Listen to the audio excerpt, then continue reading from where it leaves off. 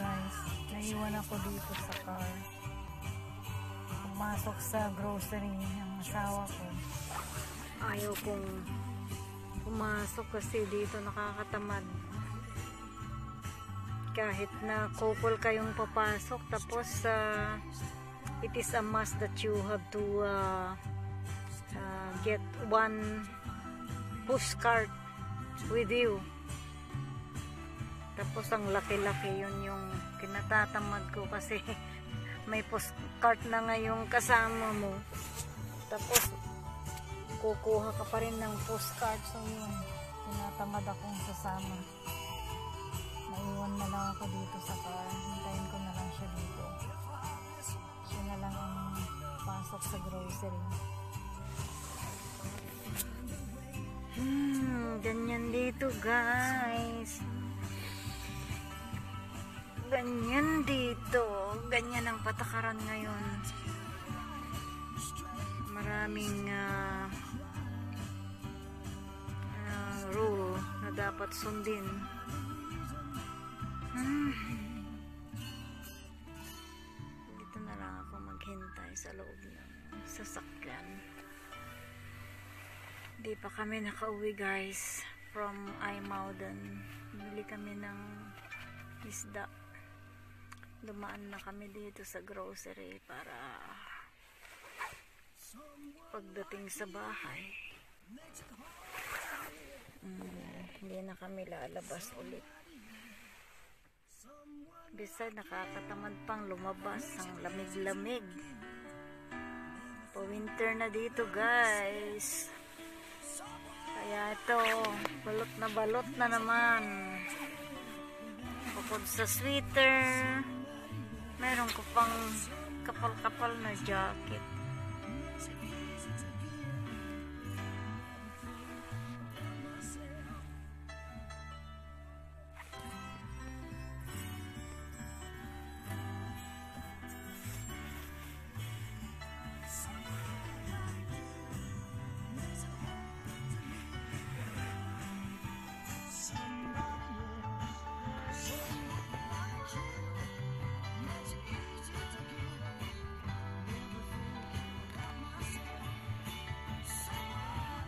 Kakamis ng umuwi ng Pinas.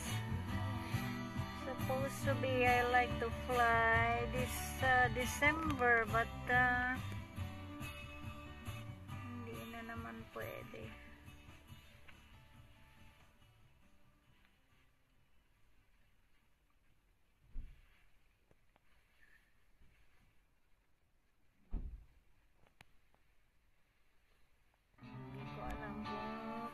Kailan ako makakalipad. Kasi dito we are partially locked down. Mga importante lang na shops yung mga open like the grocery. Is open. Restaurants are closed gym what else those uh, recreation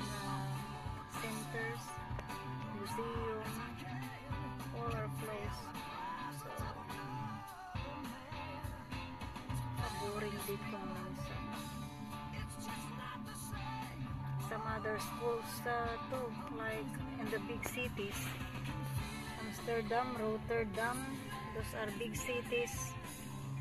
Nakapalang tao dyan. Tapos uh, no uh, social distancing anymore.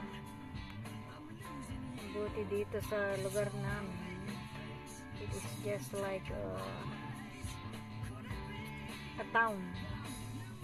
So more na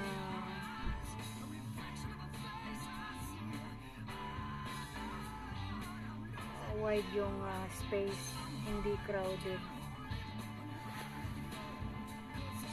Hindi kagaya ng syudad so dito pwede ka pa namang pumunta sa sentrum gusto mong bumili ng ibang kailangan like if you like to shop clothes or uh, other uh, necessities. Mm, pwede ka pa namang pumunta sa sen- sentrum. We call that sentrum. Kung saan may mga bilihan ng mga damit sapatos, gano'n. Pero matagal na hindi ako pumunta guys kasi nakakatakot. Takot ako sa virus. We also, uh, it is a must also here that we use the face mask. So, I always have on the auto. Hmm, ang tagal naman. Wala na yung hinihintay ko guys. Tagal-tagal niya sa loob. Siguro. Maraming tao kasi. Nag-grocery.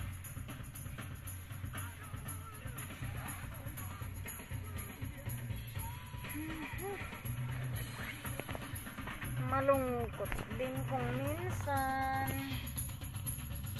malayo sa pamilya. Miss ko na ang apo ko. Supposed to be last year. Sa dalaw na naman siya dito kaya lang corona. Hmm, nakakamiss na umuwi ng Pinas. Namimiss ko na yung pamilya ko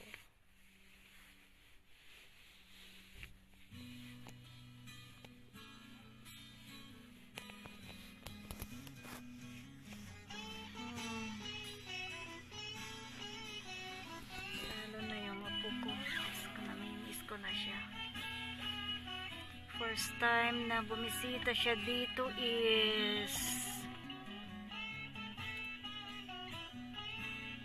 nine month old siya. Maliit pa siya noon. Hindi pa nakakalalakad. Dito siya natutong maglakad. Tapos, ah, second time 3 years old siya supposed to be last year andito na naman siya. Kaya lang yan na. Because of this uh, COVID. Hindi sila nakadalaw. Ako rin sana ang uuwi. Kaya lang inabutan naman ako ng pandemya. So hindi ako nakalipad nung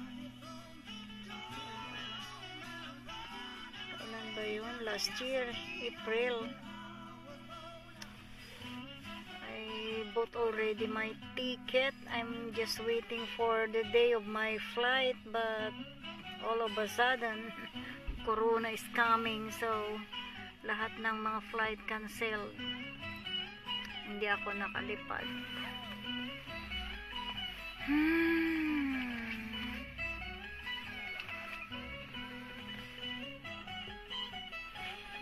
Ganito ang buhay dito guys minsan masarap minsan mahirap minsan masaya minsan malungkot so halo-halo na. Hmm, wala pa yung hinihintay ko. Tagal-tagal naman.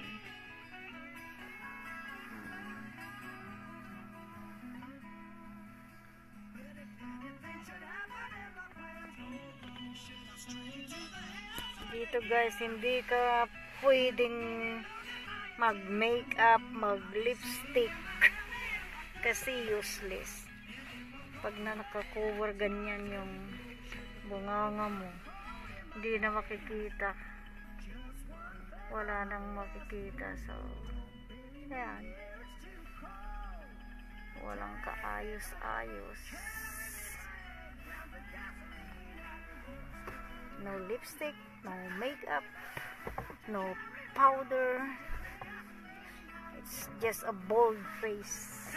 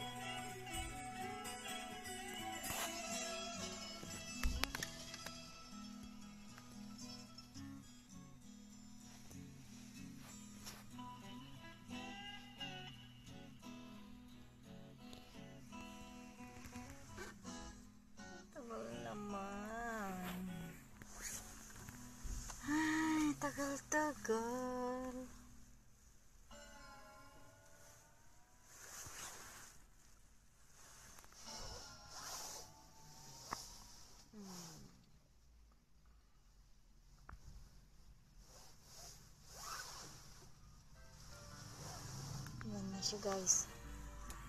Uwi na kami. See you. See you later.